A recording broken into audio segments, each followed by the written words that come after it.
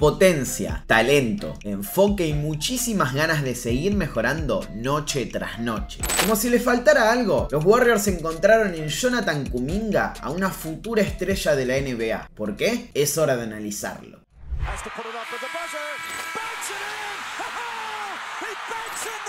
I knew he was athletic. I didn't know he was that skilled. He's very skilled for us creating to be able to drive and get to the paint, finishing right and left hand, dunking the ball, you know, uh, finishing through contact. But here's the thing.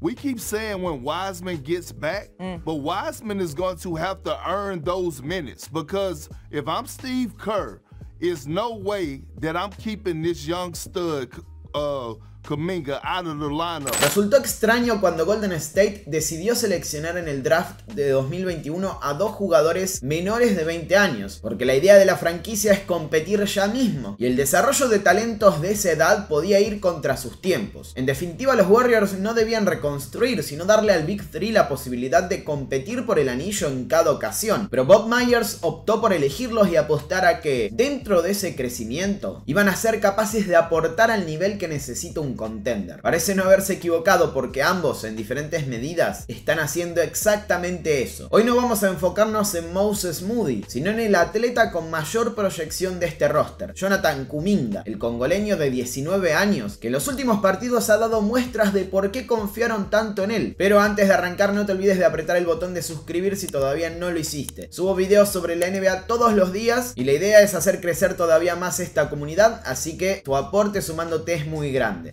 Sí, dicho esto, veamos qué está sucediendo con Shoku. Y la idea de este video no es hablar sobre su historia ni de lo que se esperaba de él en las etapas previas al draft. Hice uno específicamente sobre eso hace unos meses y lo pueden encontrar acá arriba a la derecha. Desde ese entonces, su valor en la rotación fue cambiando. Tuvo actuaciones en las que su uso fue alto y otras, la mayoría, en la que era parte de la tercera unidad y solamente rellenaba los minutos. Un caso lógico al entender que se trata de un jugador tan joven dentro de un equipo con aspiraciones al título que además tiene un sistema tan complejo para aquellos que jamás lo han integrado. Sin embargo, lo que más me sorprende de Kuminga es que poco a poco fue comprendiéndolo. Utilizó esos momentos de aprendizaje para visualizar su función y cumplirla a rajatabla. Energía en los tableros, efectividad en sus pocos lanzamientos y defensa. La confianza de Steve Kerr fue creciendo y llegó un punto en el que sus minutos comenzaron a estabilizarse, más precisamente en el último tramo de 14 partidos. Y no es algo casual, sino más bien una reacción a un problema importante para la franquicia, la lesión de Draymond Green, quien justamente se ha perdido 14 encuentros de forma consecutiva. A ver, el africano no ha venido a suplir la ausencia del 23, no puede hacerlo. Green impacta en tantas facetas del juego que es prácticamente imposible pedirle eso a un novato o simplemente a la mayoría de los jugadores de rol de la NBA. Pero sí ha sido importante para los Warriors a la hora de pensar en ciertos trabajos que Draymond dejó vacantes y que él ha sido capaz de cumplir. Ya lo detallaremos. Estadísticamente el aporte de Kuminga evolucionó. Durante las primeras 28 apariciones de la temporada había promediado casi 5 puntos, 1,7 rebotes, 47,2% de acierto en tiros de campo y 26,5% en triples, lanzando 1,2 por jornada. Su media de minutos fue de 9,7. En este lapso ha aumentado a 19,7 y sus registros son de 12 puntos, 4,5 rebotes, 1,3 asistencias, 51,7% de acierto en lanzamientos de campo y 30 3,3 en triples, intentando casi 3 por partido. Le dieron la responsabilidad de cubrir un hueco en el entramado principal de Golden State y respondió mejorando todos sus números. Decía que el congoleño puede aportar en rubros que normalmente son parte del juego de Green. Claramente no en todos, porque suplir una baja de ese estilo es muy difícil y de hecho todavía no lo han podido hacer. Pero sí que les dio una mano muy valiosa en algunos casos. Veamos, sin Draymond los Warriors perdieron a ese jugador polifuncional que domina tanto en defensa por su versatilidad y liderazgo, como en ataque por sus pases, pero también a un deportista que entiende que al encontrar un espacio es necesario atacarlo, más allá de que su poderío ofensivo no sea tan amenazante. Kuminga hizo exactamente eso, imprimirle una mayor agresividad a sus ataques ante cualquier posibilidad de castigar. Físicamente no hay un atleta como él en este plantel, y eso lo benefició enormemente. Como mencioné previamente, fueron más puntos, mayor efectividad y una amenaza incluso más grande que la que supone En ese rubro. Para alguien con esa potencia física, compartir la cancha con tiradores del calibre de Steph Curry y Clay Thompson es un sueño hecho realidad. Los espacios siempre aparecen y él solo debe aprovecharlos. Y lo ha hecho. Anotó 15 o más puntos en 7 de esos 14 partidos, destacándose con 25 ante Chicago y 22 frente a Dallas. En 6 de esas actuaciones también superó el 50% de acierto en tiros de campo, algo vital para quien ejecuta dentro de ese rol. Ha tenido 3 presentaciones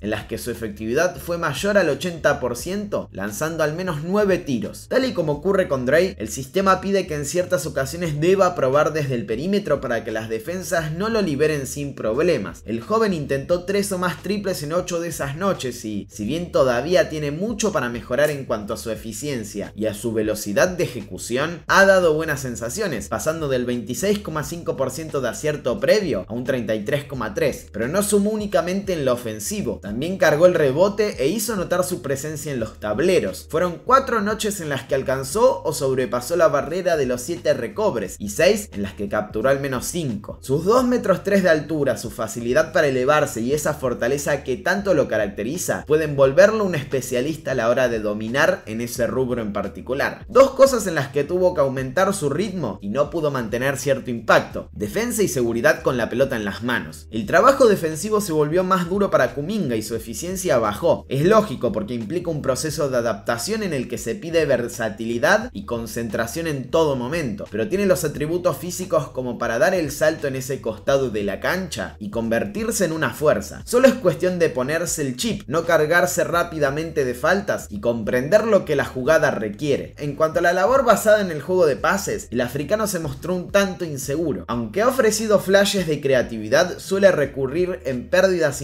que debería eliminar conforme pase más y más tiempo involucrado en ese tipo de situaciones. Por el momento, darle la pelota para algo más que no sea definir puede ser un riesgo. En definitiva, estamos en presencia de una joven figura con muchísimo futuro, el crecimiento de una potencial estrella sobre la que pueden construir la era post Big 3, pero que también está dando la talla ahora mismo en un contender que necesita que sus integrantes produzcan día tras día. El cielo es el límite para Jonathan Kuminga, por eso quiero preguntarles a ustedes, ¿a qué jugador les recuerda? No se olviden de darle like al video si les gustó y de seguirme en las redes sociales en las que también creo contenido sobre la NBA a diario. Gracias por llegar hasta acá y nos encontramos en la próxima.